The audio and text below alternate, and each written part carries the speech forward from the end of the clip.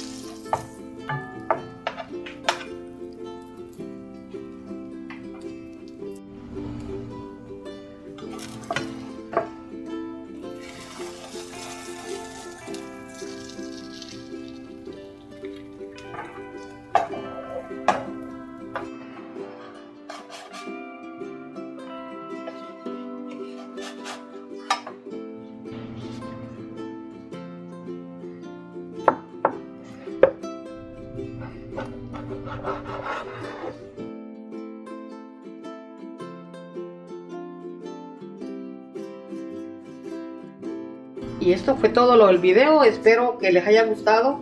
Y no se les olvide suscribirse. Que Dios los bendiga donde quiera que estén. Y nos vemos hasta la próxima. ¿eh? Bye.